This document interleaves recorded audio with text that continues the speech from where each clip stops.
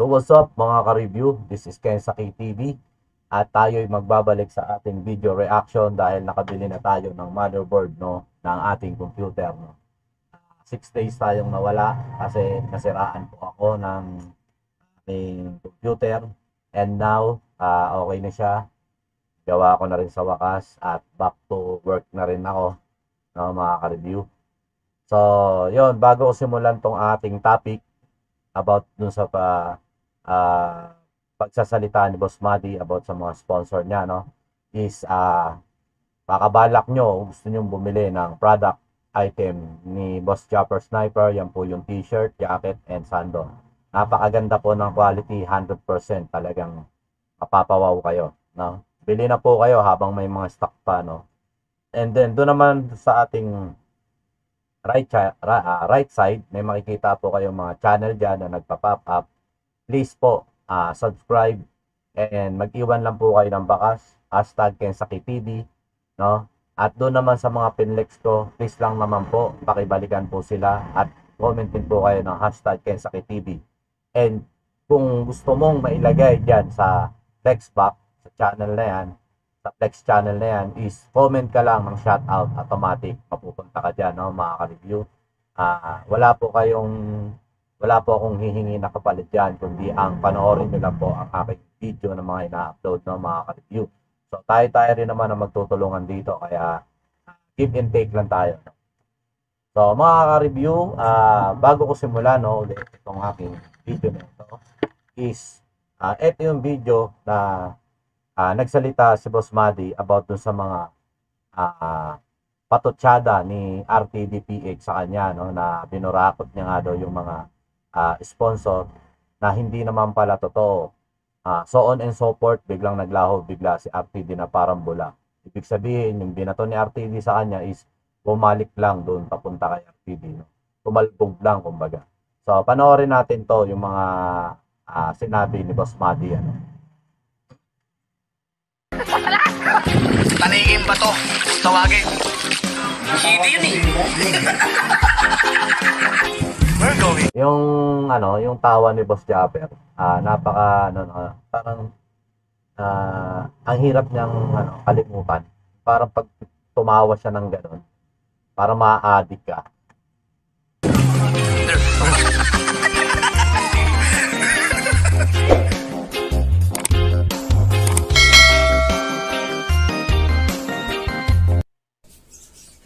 Yun, uh, guys, uh, magandang umaga.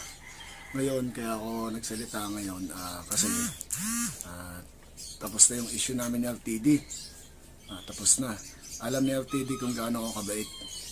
At saka wala po akong binuraot ng mga uh, sponsor.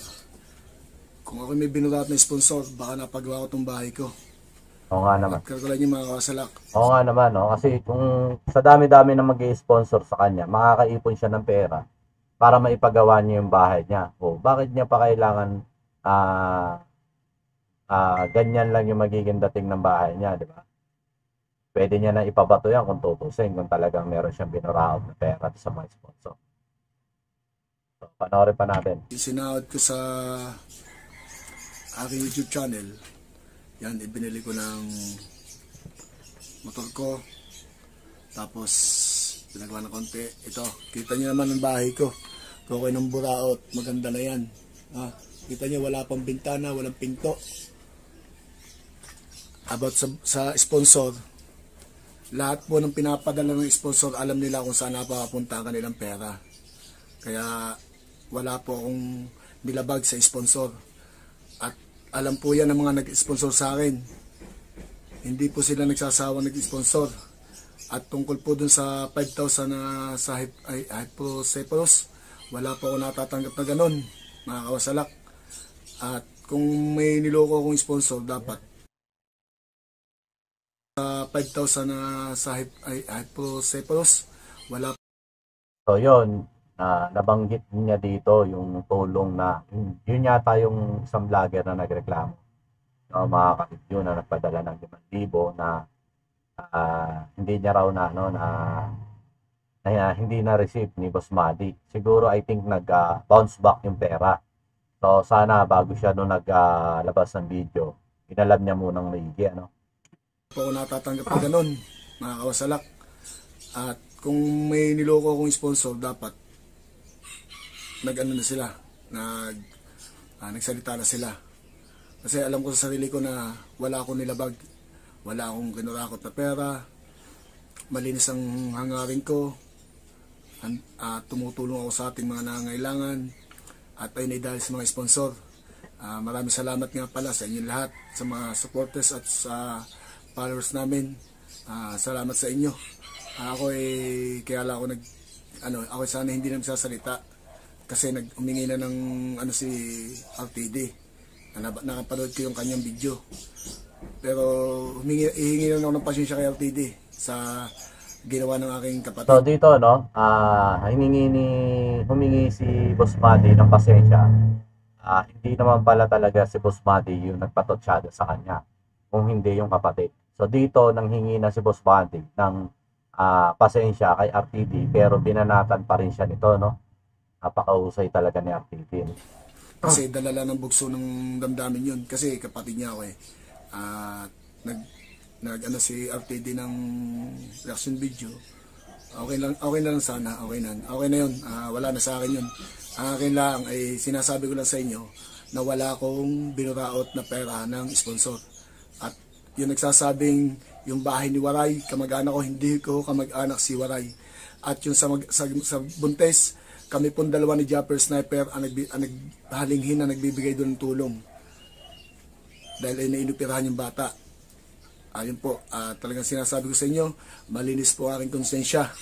Wala po akong ah, nilabag na masama sa mga sponsor at napakabait ko pong tao. Ang magpapatuloy na po niyan yung mga napunta dito. Alam din RTD yan, alam din ng RTD na gaano ko kabait. Kaya hindi na lang ako naimik. Ah, ngayon, ah, kasi may nababasa ako mga basher. Ah, salamat, salamat sa inyo. At ginising niyo ako. So yun no, ah kadami-dami na nang bas sa kanya sa comment section okay. Boss Susala. Ito pa yung iginanti nila niya sa inyo na nagpasalamat siya at napaka napakaganda ng pinakita niya pa dito. Hindi siya nagbigay ng hinanakit o anumang hinanakit do sa mga nambas sa kanya do sa comment section. Dapat kasi sa mga ganitong pangyayari sa mga sponsorship no ang kailangan kasi natin, once na nag-sponsor kayo sa isang bagay, is dapat marunong kayong mag-antay. Di ba? Kasi, kaya, di ba, kaya nga nung sa comment section ko, na sinabi nung isa na, kaya nga nag-sponsor para ma-flex yung channel, di ba? Ibig sabihin, ba't ka pa nag-sponsor kung ipiflex lang yung channel mo, di ba? Ibig sabihin, pag nag-sponsor ka or nagbigay ka ng tulong sa isang tao, ah, tulong mo na yun eh. Depende na yon dun sa vlogger kung ipiflex ka niya. Ganun lang yon di ba? Kung ipiflex ka. Pero, ang nakasanayan kasi, paliwanag ko lang ha, baka biglang mag-react ka na naman eh. Liwanag ko lang. Doon nga, sa ngayon kasi, nangyayari yan. Kaya ka nagbibigay ng, ano, ng sponsor is para ma-flex ka at para mabigyan ka ng appreciation ng isang vlogger. Tama ba? Tama yon Hindi mali doon. Pero, hindi mo dapat madaliin yung isang vlogger na ma-recognize ka kaagad kasi madami kayo. Yung video ng vlogger is ah, abang-abang yan. Kunwari, gumawa ako ng video ngayon. May nakadetalye na kung sino ipeflex yan. Sumunod na video, panibago. Alam ko sa kanila, yung napuntahan ko is napakarami na kanilang stock na video. So, hindi mo may, ah, ano yun, kung, kung saan ka doon ma, ano, mapupunta. Eh, paano kung hindi niya pa nababasa yung message mo? Kasi ngayon, ah, ang message natin is napupunta sa spam. Kunwari, ah, si Boss Madi Katigbak, nag-PM ako sa kanya, hindi niya ako friend. So, lahat ng message na yun, may ipon doon sa message, ano, spam, spam message kung tawagin. So, ang mangyayari, tatagal kayo ng ilang buwan, kung ilang buwan niyang hindi mababasa yon kung may pinadala, pinadalaman kayo agad na pera, ilang buwan niyang hindi nakita yun, yun din yun, magbabounce back yung pera sa inyo. Ngayon, ang akala nyo, ang akala sa sarili nyo na, ay, niloko ng gentong tao kasi nagbigay ako ng pera. Ganun agad ang tumatakbo sa isip nyo, no? So, ang magandang gawin natin dito is, dapat, ah, contact number ni Boss Madi ang hinihingi nyo. Para na sa ganon, mas malilinawan kayo or tawagan nyo siya. No? So, marami naman sigurong, ano, ma, ah, paraan na pwede siyang makontak na bago tayo gumawa ng isang reaction o isang video na ikasisira ng reputasyon ng ibang tao is ah ah, obserbahan muna natin or ah, kausapin muna natin yung tao bago natin siya gawa ng video. Kasi pag nakagawa ka ng video, hindi mo na maibabalik yung reputasyon. Pero yung pera, may ibabalik pa yan sa tao. Yan yung lagi natin tatandaan, ano, mga ka-review. Kasi lalong-lalo na to sila Boss uh, Made, Japper Sniper, Bukata Vloggers, is tumutulong talaga sila do sa mga small YouTubers. Marami na rin sila na pag-graduate, no, mga ka-review. Ah, sa mga hindi nakakaalam diyan. Yung, yung sa mga sinasabi nilang sumasawsaw lang ako do sa eksena, no. Hindi ho ako sumasawsaw. Nagbibigay lang ho tayo ng reaction sa kung ano yung ah, pwedeng ikatama ng mga nangyayari sa panahon ngayon. So, di ba? Kaya nga nawala si RTD kasi guilty siya. Ibig sabihin, yung pagkawala ni RTD na yon is parang inamin niya na hindi niya na hinarap yung mga batiko sa kanya dahil totoo. Pagko si Boss Madi, hinarap niya ito at nagpaliwanag siya. Tama po ba mga ka-review, no? So, just sa mga basher ni Boss Madi, nasa inyo na yan kung paano niyo siya i-handle. Pero sa amin, kami mga supporters, eh, mananatili pa rin kaming nandiyan. At ipagtatanggol namin, no? Kung may mali man na kaming makikita, eh syempre, pupunahin din namin. Hindi naman kami tanga, hindi ho ba? Eh kaso wala naman ho kami ng maling nakikita. Pero isa lang masabi ko, wala akong binuraot na pera ng sponsor. Kung ako may, may binuraot na pera ng sponsor, sana ang bahay na to ay maganda na. No, di ba? At nyo, simple, Di ba, no, simple mga ako. review? Simpleng-simple lang yung paliwanag niya eh. Sa dami ng sponsor na nagbigay sa kanya, bakit nagtsatsaga pa rin siya doon sa bahay na yan? Tutusin, kayang-kaya niya nang bumili ng second na nasakyan. Magagarang cellphone, di ba? Papainom araw-araw, ba? Kaso hindi eh. Kasi ang totoo, wala naman talagang napupunta sa kanya. Tama po ba? Diba? Tsaka ganito na lang ho yan, di ba? Ah, nag-sponsor po kayo, tama po ba? Kung tutuusin yung in-sponsor nyo po, para nyo lang inutusan yung vlogger. Bakit po ba? O, eto, nag-sponsor ako. Pakibigay dun sa tutulungan mo. Ah, tutulungan mo. Etong si vlogger, kikilos yan. Nang taos sa, ano yun, bukal sa loob niya, na ikikilos niya, ipamahamahagi niya. Kung malalayo man yung pupuntahan niya, nagsasayang din siya ng oras. Bakit? Kasi galing po sa inyo yung sponsor nyo. Di ba? Ngayon, pansinin nyo, yung hirap at pagod ba ni vlogger, isinusumbat po ba niya sa inyo? Di ho ba hindi? Tapos kayo, konting aberya lang is ang dami nyo nang sinasabi, kuma-comment kayo, wagas, di ba? Eh hindi nyo muna dapat alamin kung ano talaga yung punot dulo ng pangyayari bago kayo magsalita. Tama po ba, mga ka-review, no? So, yun, doon sa mga, ano, doon sa mga basher talaga, no? Wala na kasi silang ibang pupunahin dyan, kundi yung mga mali. Kung ano yung makikita nilang mali, yun yung pupunahin nila. Di ba? Yun lang yun eh. Kasi hindi naman marami nagreklamo, pero wala naman akong nakitang na may napatunayan doon sa mga nagreklamo. Tama po ba? Tama po ba? At least salute ako kay Boss Ronnie Cabestakers, no? Nagkaintindihan sila, nagkausap sila na maayos. At ayun nga, binawi niya at humingi siya ng paumanhin, no? Doon pa sa dalawang napanood kong video at na-reaction ko, ewan ko lang kung ano nangyari kasi hindi na nasundan yun. So eto, ah matagal na tong in-upload ni Boss Mati, matagal ko na rin tong gustong i-review. Kaso nga lang, inuna ko yung mga ah magagandang video, yung mga highlights sa video. Oh, tingnan yung aking katayuan. Oh, tingnan nyo, ang bahay ko. Ayan, ba, wala akong bahay, bahay to ng nanay ko. Ah, dito dito na natigil sa bahay ng nanay ko.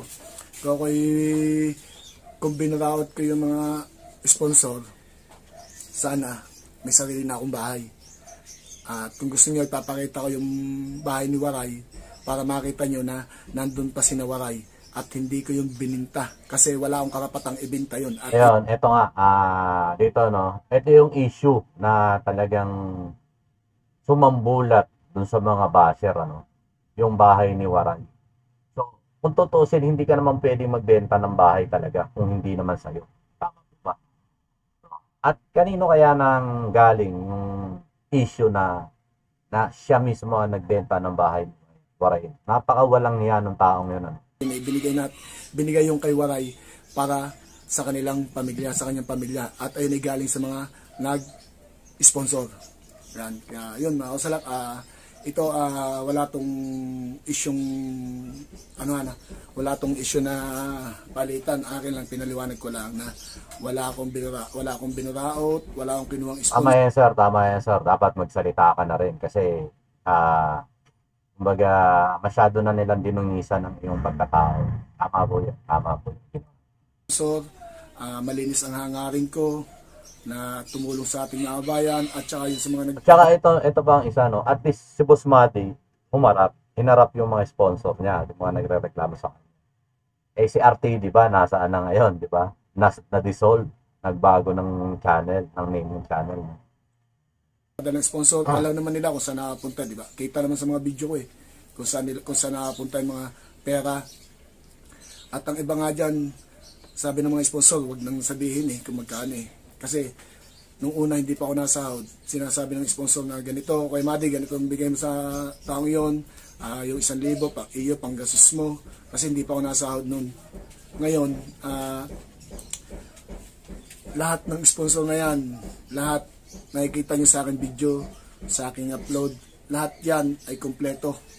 Wala po yung kahit singkong duling na ako'y kinuha. Alam po ng mga sponsor na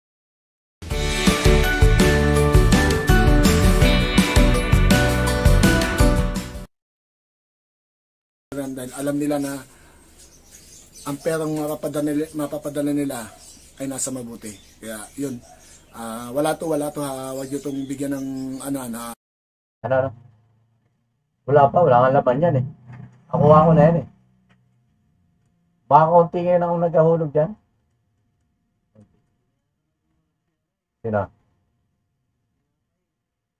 Hindi na nga. Ha? Oo. Naglo-load na lang yata. Sino yan?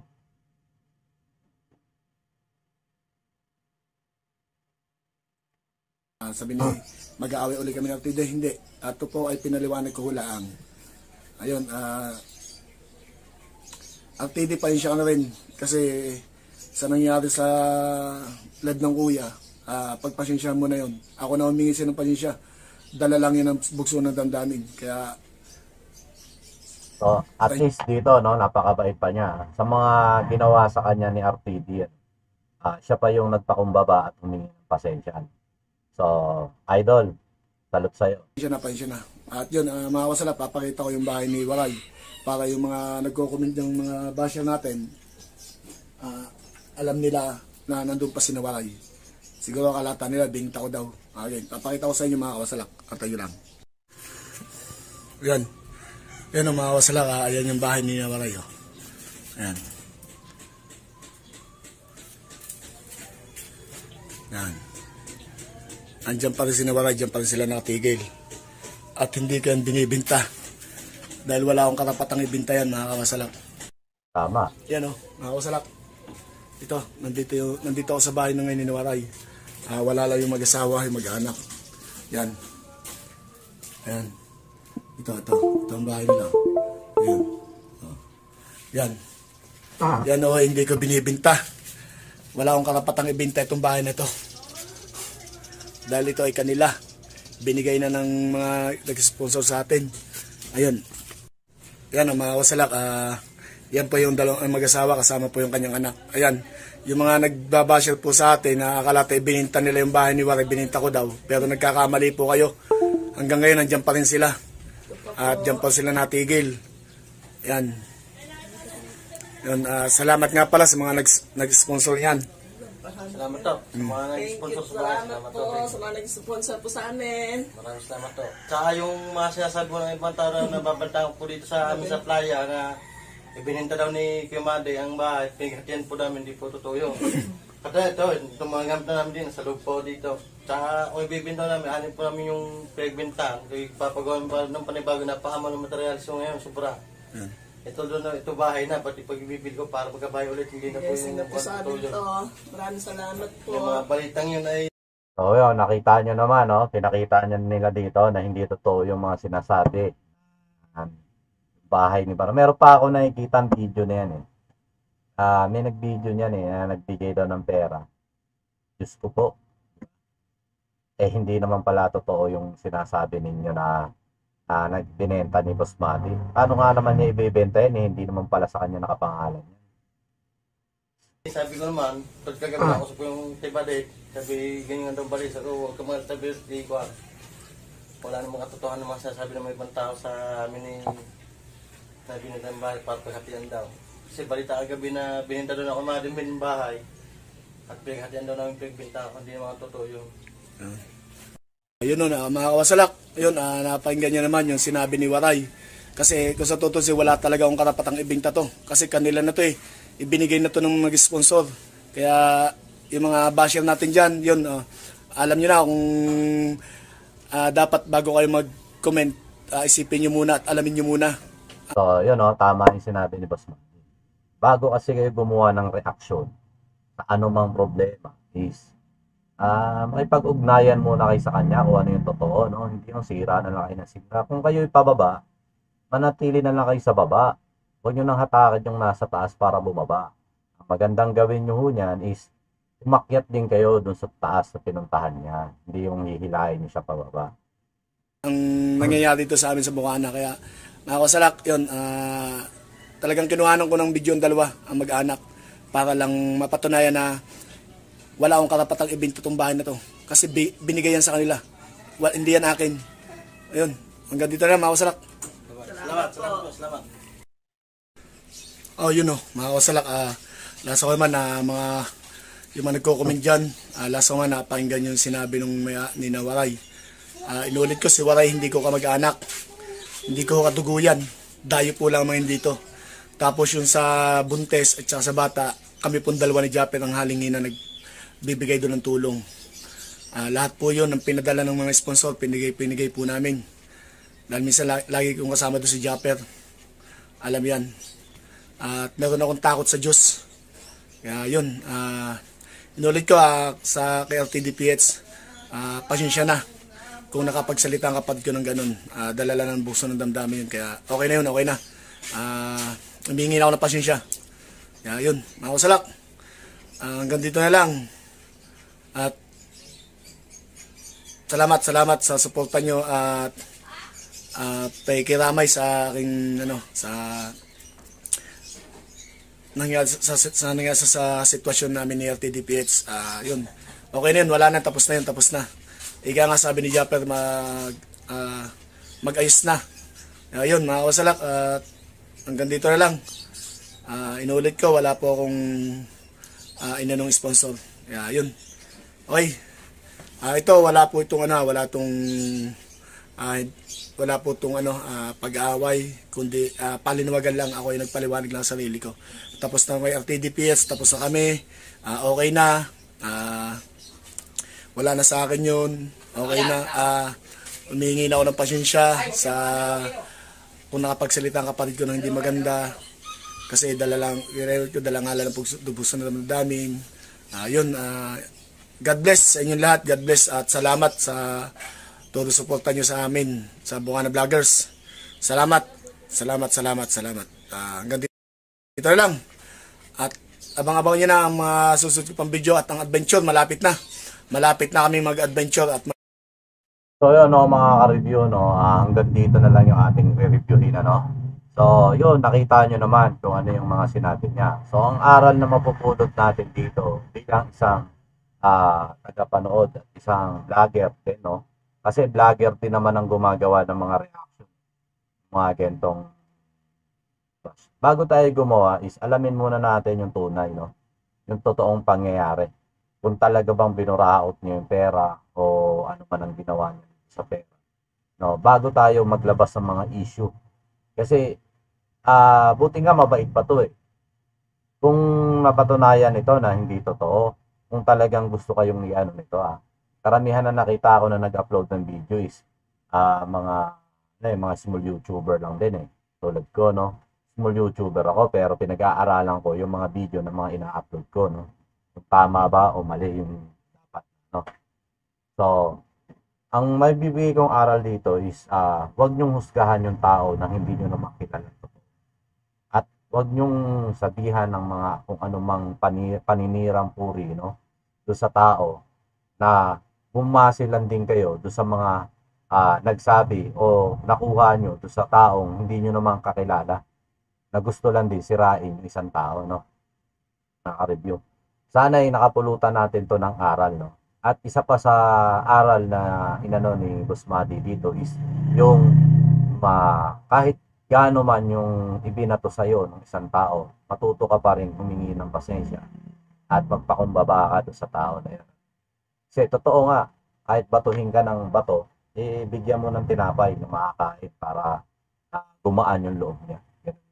So, yun mga ka-review, hanggang dito na lang ang aking video reaction about dito sa pagsasalita ni Boss Madi.